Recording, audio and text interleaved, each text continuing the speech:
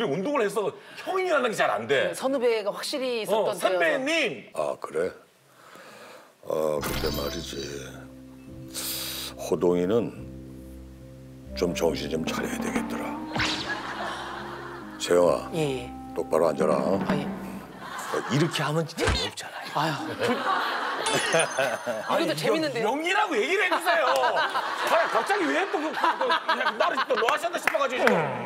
아, 연기를 때는 연기다 하고. 아휴 깜짝 깜짝 놀랐네. 다행이다. 참 다행이다. 연기였나 봐. 오늘 여기 나오면서도 그런 생각했어. 그냥 쉽게 쉽게 그냥 편안하게 꼰대처럼 하고 싶지 않다. 진짜 예전 캐릭터는 그렇게 못하지. 가서 내 무릎에 이렇게 앉아봐봐. 이렇게 앉아. 옛날에 뭐 그럴 수 있니? 지금 이제 편안해지지 행님하고 앉아가지고 이게 얼마나 좋아. 요즘, 요즘은 이제 이런, 이런, 이렇게 하는 건 괜찮은 거잖아요. 좋지. 담 돌리 담 돌려가지고 이렇게요 어 좋아. 불편하다. 아, 불편하다. 죄송합니다. 아니야, 아유, 아 진짜? 아니야, 아유. 아 진짜? 와, 어, 어, 어, 어.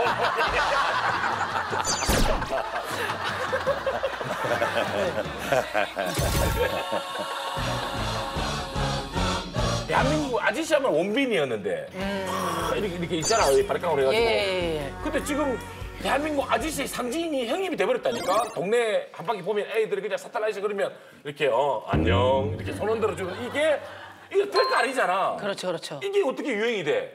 어, 안, 안녕 소리 좋다. 안녕.